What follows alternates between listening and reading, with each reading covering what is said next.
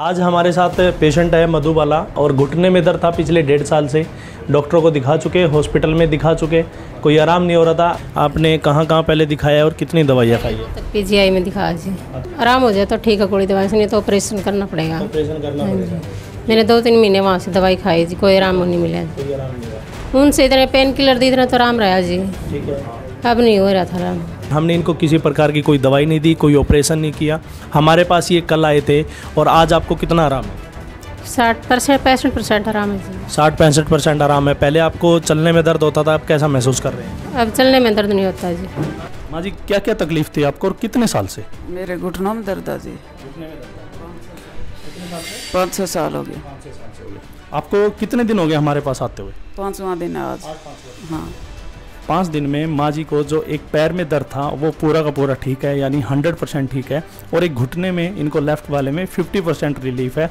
हमने इनको किसी प्रकार की कोई कोई कोई गोली दवाई इंजेक्शन नहीं दिया है। अब माँ जी बताइए हमने कोई गोली दवाई दी आपको? नहीं जी कोई गोली दवाई नहीं दी। कैसे इलाज करता है हमारा क्लिनिक? ये सुइयाँ लगाते हो फिर ये लगाते हो मैग्नेट आपका पैर कैसा है वो? फिर ठीक है अभी वो तो ठीक है बिल्कुल। आज हमारे साथ एक पेशेंट है जो काफ़ी उम्र के हैं। माँ जी क्या क्या तकलीफ़ थी आपको?